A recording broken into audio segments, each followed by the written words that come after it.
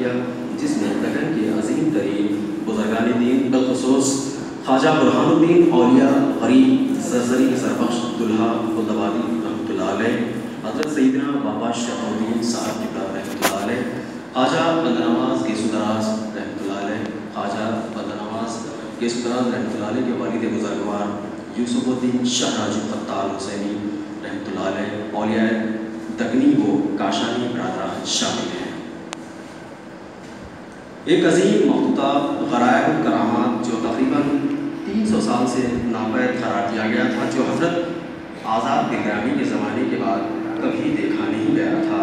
تحقیق وہ جدت لاپانی سے ڈھونڈ نکالا، جو کہ فارسی خالمی مخطوطہ ہے اور کافی حد تک ادھورا بھی ہے۔ ایک اور مخطوطہ جو کہ تقریباً سات سو سالہ قدیم ہے، احسن الاقوال جو خود ان کے جد اعلیٰ خواجہ برحان الدین اولیاء رحمۃ اللہ علیہ کے ملفوظات پر مبنی ہے حاصل کیا یہ بھی فارسی زبان میں تھا جس کا وہ ترجمہ شائع ہو چکا ہے ایک اور قلبی مخطوطہ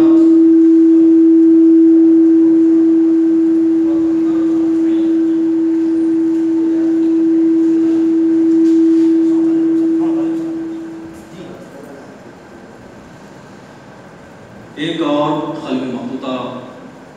نفائس الانفاس ملفوظات حضرت خواجہ برحان الدین اولیاء جو فارسی میں ہیں، ان کے ہاتھ لگا جو لکھنؤ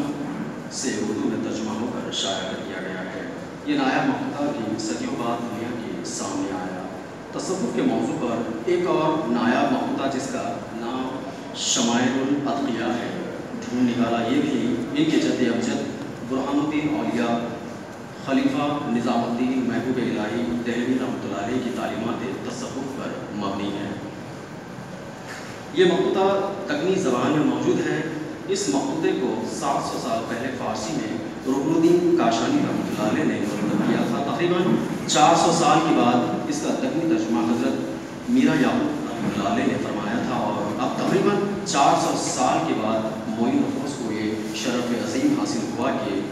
یہ اس کا اردو میں ترجمہ کر رہے ہیں یہ تصنیف چار جلدوں پر مشتمل ہے۔